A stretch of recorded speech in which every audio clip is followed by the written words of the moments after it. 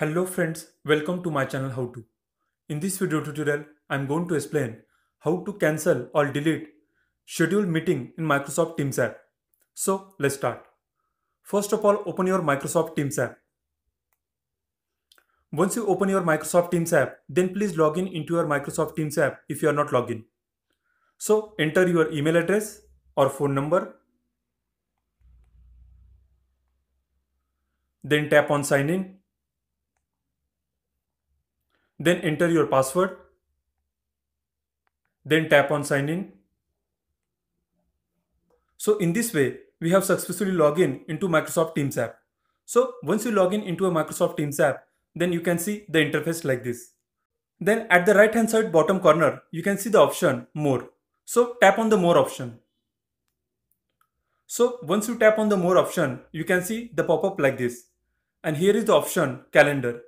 So tap on the calendar option.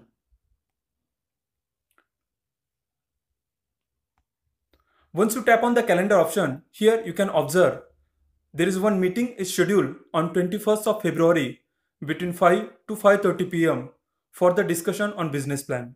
So this is the meeting that I have scheduled.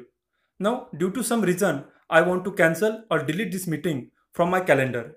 So to cancel or delete this meeting from my calendar, tap on the meeting. Once you tap on the meeting, you will be redirected to this page.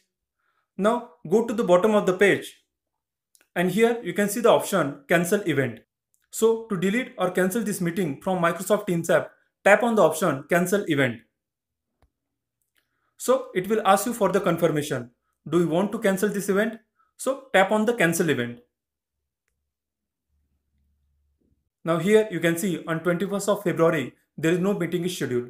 So in this way, we can remove or delete schedule meeting in Microsoft Teams app. Now email will be triggered to all the participants to notify about the cancellation of meeting. So that's all. Thanks for watching my video. If you are new to my channel, please subscribe my channel how to. Thanks a lot.